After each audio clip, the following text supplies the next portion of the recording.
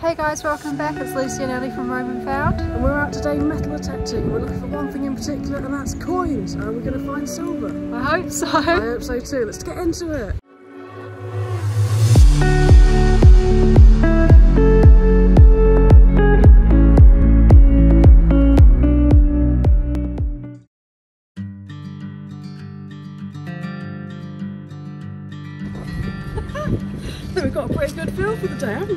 Just a little patch. Just a little keep patch. us busy.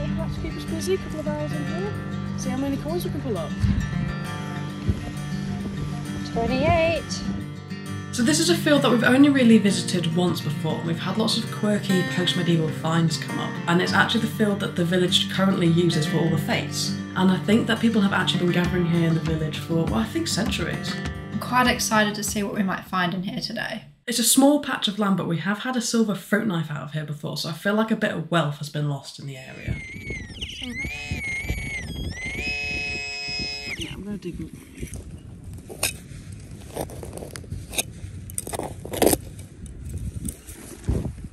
Ooh, what's that look?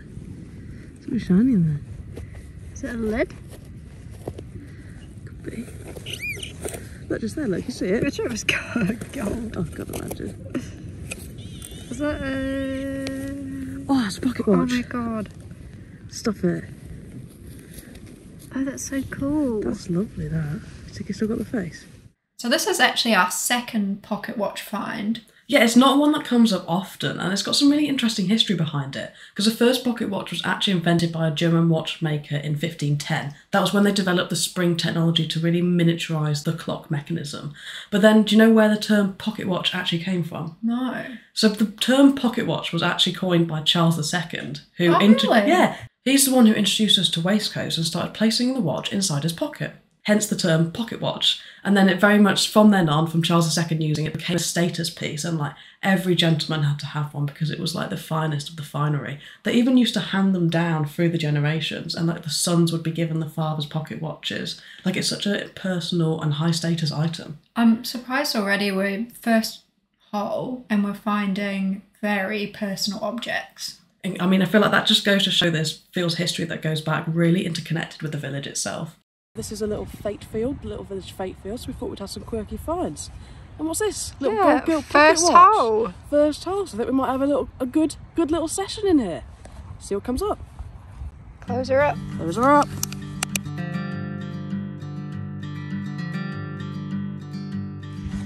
Just got like a very shallow. It's almost saying it's like a surface find here. Ellie's having a little bit of a rat. That, look. Oh, what is it? Is it a little coin? Is a little coin on the surface? Look. Is it? Or a button? I think it's a halfpenny, look. Oh, that's so cute. Look, it's a halfpenny. That'll be like 71. That A new penny. Yeah, it's called a new penny. Literally chilling on the surface. You could have spotted that by eye. There's Lizzie herself. Oh, so Look at good. that. Beautiful, that.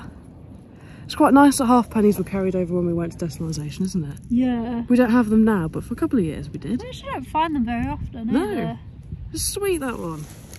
So a halfpenny is probably one of the coins that's been with us for the longest, and this is actually the last time that we see it appear in circulation, which is at the time of decimalisation, where the spirit of this halfpenny lingers on with these quirky little tiny coins for about 10 years after decimalisation before they stop being produced. But they're, I think they're a really cool part of coin history, and like the last memento of when we used to physically cut coins in half in like the Saxon and medieval times. Oh, that's the imprint. Is that an imprint? Yeah, oh, here. This. Falling out. Here. Here we go. Tempe! oh, Tempe always sounds good, especially this Yeah. this age of Tempe, because it's a good it's a good nickel mix, isn't it? So nice Tempe, that. I mean, this this field is used for all the village fetes, so I would expect nothing less than coin after coin. Great little guy. Third hole. Two coins and a pocket watch. Not bad.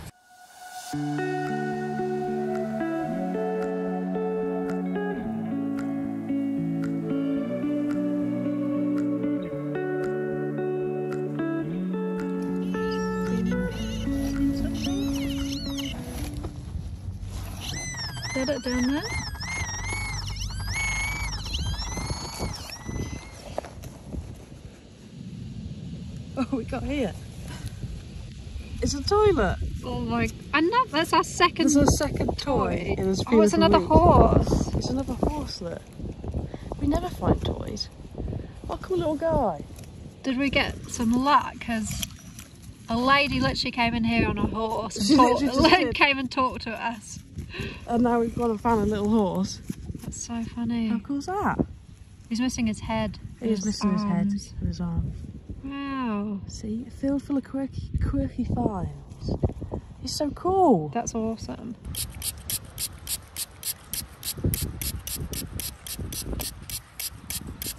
Oh, see some of the colour on him.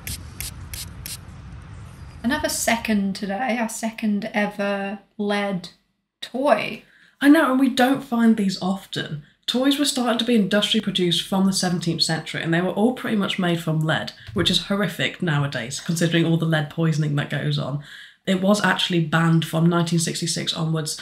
You weren't allowed to produce lead toys anymore, and toy soldiers like this one were one of the most popular types. So, what do we know about the figure on this horse? So this horse is most likely going to be a British cavalryman, and it was probably produced by the British manufacturer William Britains, who is the firm who developed the hollow casting technique which this lead toy soldier is made out of. And they developed this manufacturing process from 1893 and were actually the market leader in producing all the lead toys in Britain by 1900. And these were massively popular. Every little boy wanted one and they all wanted to play with them. But quite interestingly, after the First World War, the toy market shifted away from all of these like military figures. Oh, that's really interesting. Yeah, because like I feel like families and parents didn't want their children to be playing with these militaristic toys anymore. They don't want that reminder. No, especially not after the horrific things that they went through in the First World War. So then there's, we see quite a decline, and they start making more civilian toys. So we've just had our dig interrupted because a lady came in on a young mare um, who wanted to have a little chat to us. She wanted to ask us what we found. We showed her the pocket watch that we literally just dug out the hole. And then the next thing we go and find is this little little guy in a horse look. She brought us some luck. How cool's that? Little lead so funny. So cool. And a massive thing for the finds too. We need a bigger tin. Yeah. Look at that. Two massive finds. The there. tin full. We can go home now.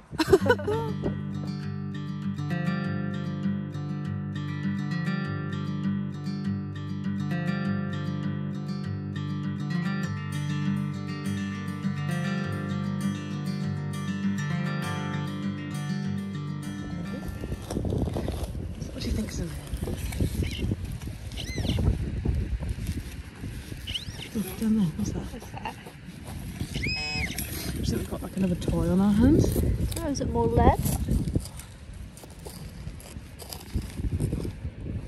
What do you think? Come on, let's think it's this. Let's have a look.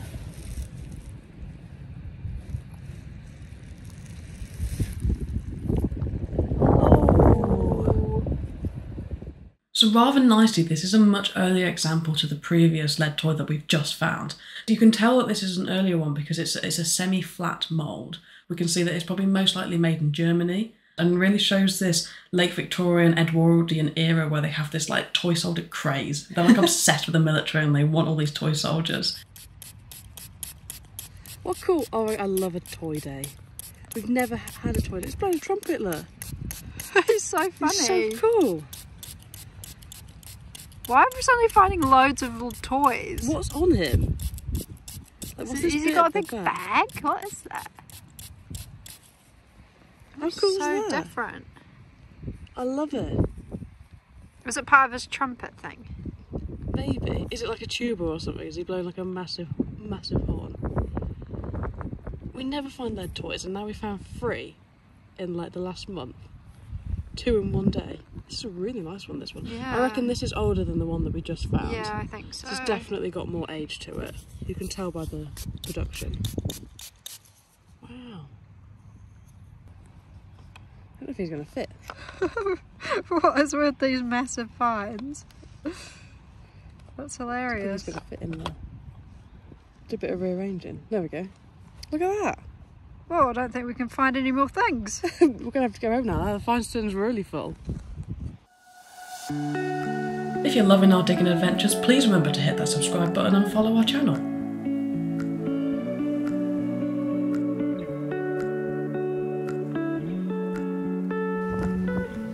14, 15, 16.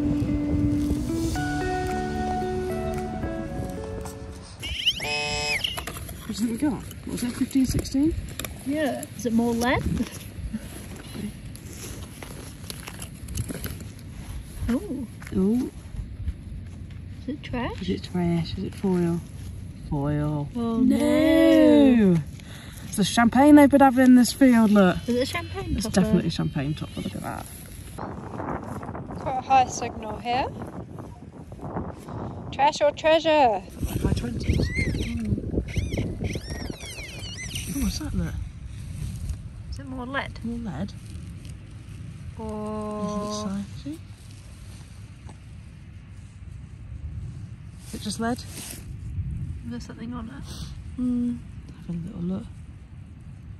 I think it's just some molten lead.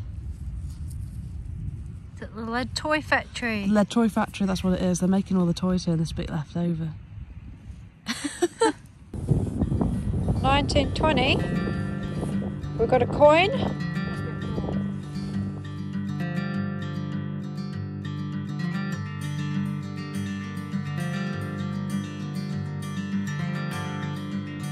I quite like it when it just chills inside the side of the heart. Is it a washer? Is it a washer? I think it's a washer. No, a silver no, washer. A silver washer. Why? Why would you do that to us? That's from a marquee, that is. Yeah. Ah. feel like we've gone back to the classic where I found classic snack breaks. What you got, Lucy? Popcorn and Kit Kat. Popcorn and Kit Kat. Look forward to it. Yeah, that's It's a long day. been a long day. Let's dig in. So 20s. What are you expecting, Lucy? Actually a coin. What's that? Oh, Oh, I think we've got a coin. That's right. It's a George. Oh, a little bit older. It's a George Threepence, I think. There we go. Lovely little George, look. The, the lovely thistle. Oh yeah. Beautiful one. What we got? What age we got? 40, 42. 42. 42. There we go. Nice wartime. Wartime on that one. Woohoo. George VI. Beautiful little one, there. Fourth coin for the coins tin now. Woohoo. Lovely bit of Coin Jaws. shooting. Coin shooting. George to go in and join Lizzie, look. Looking healthy in there. Very healthy.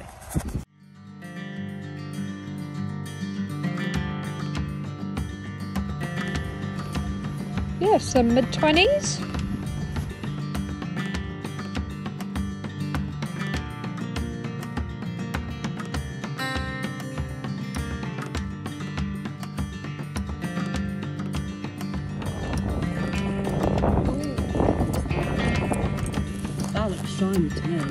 see that?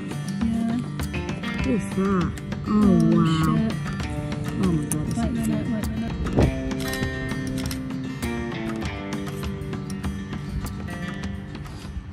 Trying to tease it. Yeah. How big do you think it is? That's pretty big. What is it? I think it's like a half crown. There we go. Should we bring it out? Oh, Oh, the crown. look at that for a half crown. That's a beauty. Oh, George the Sixth, just like that, three pence. Ooh, Beautiful. Look at the condition of it. Oh, it's in really nice condition. Look at that. It's not every day that you find something this big and silver, is there? This is only like our third, this is like our fourth ever half crown. This is one of our favourite types of coinage to find. The half crown is such a massive target. And I feel like they've got some really iconic designs on them. And in fact, the design was in use for 450 years. Can you believe that? That's incredible. Like, yeah, because the first half crown was minted during the reign of Henry VIII, and it was actually minted in gold. How insane would it be to find oh, one of those? Wow, I want one. I know, I want one. And then the silver ones were introduced during the reign of Edward VI. This half crown is actually George VI and still has silver in it, thankfully. I'm quite glad about that. because it's actually from 1946 that they changed the composition of the half crowns from silver to cupro nickel. So when was the half crown solid silver? Pre 1920, the half crowns would have all been solid silver, and it's quite an interesting fact to why they changed to being 50 50 in this period from 1920 to 1946, and that is because of World War One. Essentially, during World War One, Britain needed to borrow money and silver from the US to fund World War One because it was a massively expensive endeavour. As a result of that, they had to cut the silver content in their coinage in half in order to repay this debt. Yeah, I feel like a lot of the finds that we're discovering in this field have got a little bit of a military connection to them. I feel like they're all from this war period and they even the toy soldiers like relate back to the military and like all of the coins are from this 1940s era. I think it's really fascinating.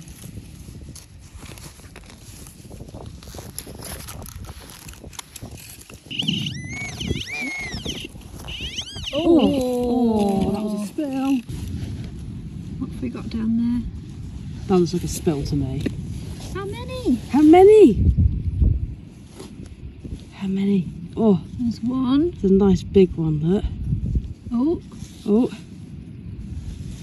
Oh. It's a big George. Beautiful big one penny. Yeah. We haven't found one of these before. no. You can tell a spill because look, it's got that classic green I've been against another coin. And then here we've got oh who have we got here? George, George the Sixth. From the size of this one, it looks like it's going to be yeah, classic oh, yeah. ships half penny. Half Look penny. at that. Do you think we've got any more? Don't know. That's only two.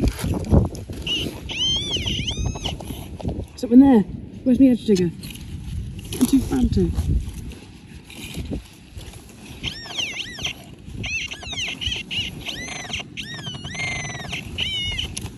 More in here.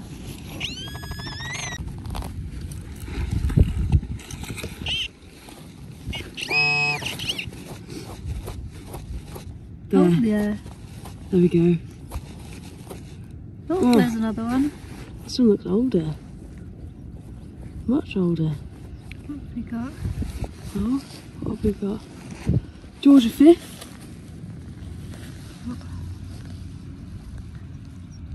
There we go. Penny and two half pennies so far.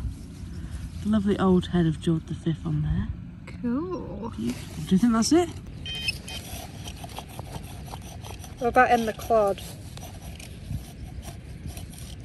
It's always so exciting finding a coin spill. So who have we got here, Ellie? So we've got a 1918 George V halfpenny, a massive George V penny 1928. I love the size of these big one pennies. And then a very interesting little 1942 George VI halfpenny, which is this lovely wartime coin, which actually features the golden hind on it. So this coin spot really covers about what three decades. Yeah, three decades, and all of these would have probably been in circulation at the same time because it's this this interesting time where you have lots of different periods of monarchs all mixed together in denominations. One hole, three coins. Something there, look at the size of that. Whoa, that's not bad for Okay. Like It's been up for two hours. two hour session. Two hour For the silver.